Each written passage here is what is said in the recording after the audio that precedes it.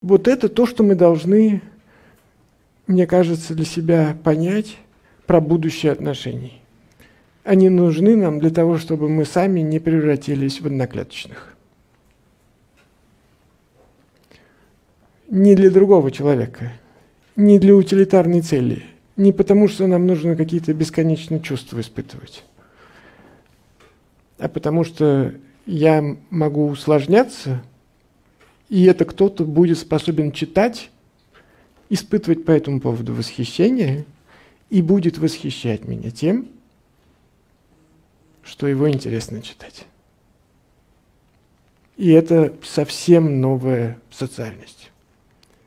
Такое еще раньше не было. А будет ли? Это вопрос.